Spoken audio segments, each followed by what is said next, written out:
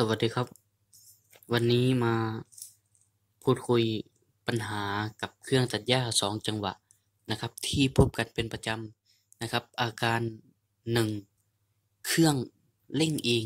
นะครับ โดยที่เราไม่ได้เร่งนะครับอพอเราปรับคาร์บูเรเตอร์ผ่อนสุดแล้วมันยังเร่งเองนะครับ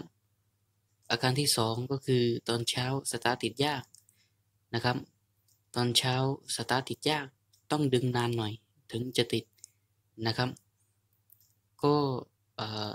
มีอาการนะครับประมาณนี้นะครับ ยกหัวข้อนะครับมา 2 ตัวอย่างนะครับ ก็สาเหตุนะครับเกิดจากซีนพอข้อเหวี่ยงรั่วนะครับ สาเหตุเกิดจากซีนพอข้อเหวี่ยงรั่วนะครับ อาการที่เป็นไปได้นะครับ เมื่อซีนพอข้อเหวี่ยงรั่วนะครับ อากาศก็จะเล็ดลอดผ่านเข้าไปภายในเครื่องยนต์ได้ นะครับทำให้เครื่องยนต์เนี่ยสามารถเร่งเองนะครับ เร่งเองโดยที่เราไม่ได้เร่งนะครับ พอเราผ่อนสุดแล้วปรับคาร์บูลงต่ำสุดแล้วนะครับ มันก็ยังเร่งอยู่ตลอดนะครับ นี่ก็คือเป็นอีกหนึ่ง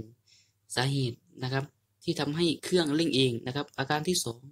อาการที่สองนะครับก็คือตอนเช้าติดยากเมื่อเราติดตอนเช้านะครับ ซีนมันจะแข็งตัว นะครับ พอซีนแข็งตัวมันจะทำให้อ่าน้ำมันเนี่ยรั่วนะครับ พอทำให้ พอน้ำมันรั่วนะครับ มันก็จะทำให้ส่วนผสมเนี่ยไม่พอสำหรับการติดเครื่องยนต์นะครับ เราต้องสตาร์ทนะครับไปนะครับนานหน่อยนะครับ สักพักหนึ่งนะครับ เมื่อส่วนผสมมันได้ที่มันถึงจะติดนะครับ พอมันติดแล้วซีน พอมันติดแล้วเครื่องยนต์มันจะเกิดความร้อนพอเกิดความร้อนซีนมันก็จะอ่อนตัว หลังจากนั้นมันก็ติดง่าย พอเราปล่อยไว้ให้เครื่องแห้งนะครับ ซีนมันจะแข็งตัวเหมือนเดิม